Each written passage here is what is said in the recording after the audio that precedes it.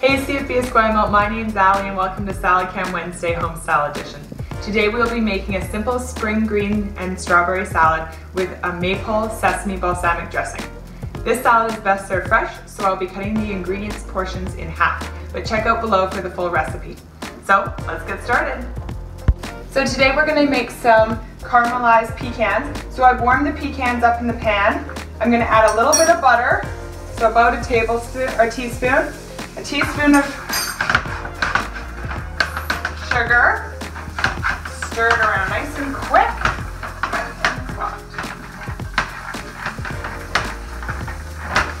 A little twist of salt.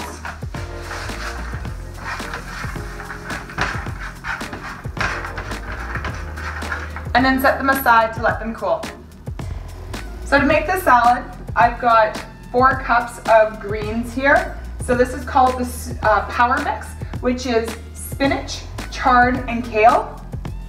Quarter of a cup of crumbled goat cheese. Several strawberries already cut so I can just lay them out in the salad. This salad also works really well if you just want to plate it onto uh, people's dinner plates. And then sprinkle in the pecans. Add some dressing.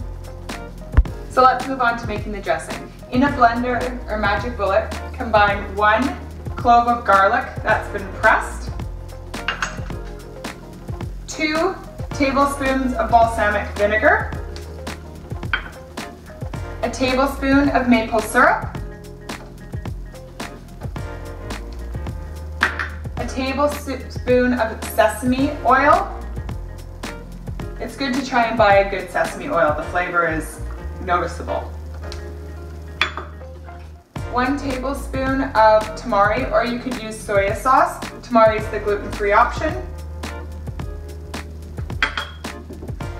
And one teaspoon of fresh ground pepper.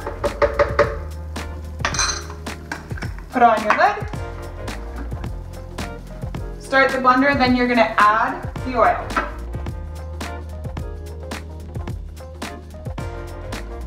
Perfect. I have the salad plated.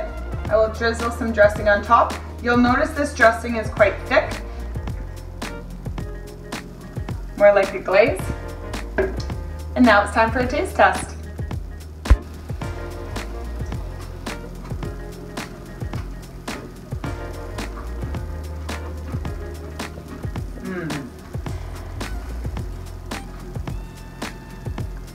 The soft cheese and the sesame oil really pair nicely together. This is a delicious salad. We hope you like the salad and if you have any recipes you'd like to share with me, please leave a comment below. See you next week.